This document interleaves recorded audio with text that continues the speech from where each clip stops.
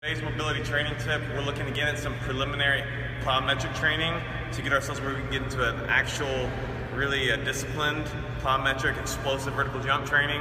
But for now, we got to build from the ground up. So you maybe look at the depth jump and the landing. Well, we have to work on being able to build up our calf or our lower leg, actually. Be able to be springy, you be light on our feet.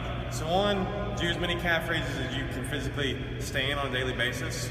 It's a good way to start. I'm not going to break into it in this video. But some light level plyometrics we can do. Grab a line, ball, chest up, elbows tight.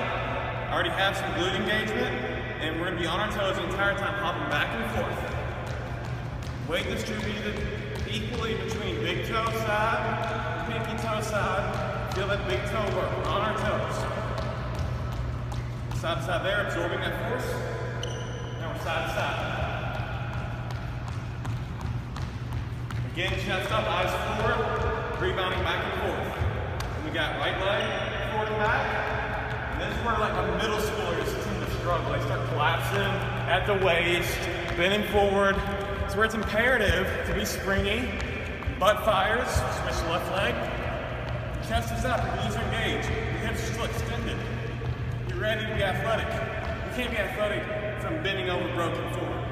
Never be, so you can't train that way. You have to build yourself up here and now, doing motions that way. Side to side now. Again, chest up, eyes forward, elbows tight. And then switch. Equal weight. A lot of basketball players are springy. You really keep the weight on the pinky toe side. Keep it on that big toe side. Equal amount.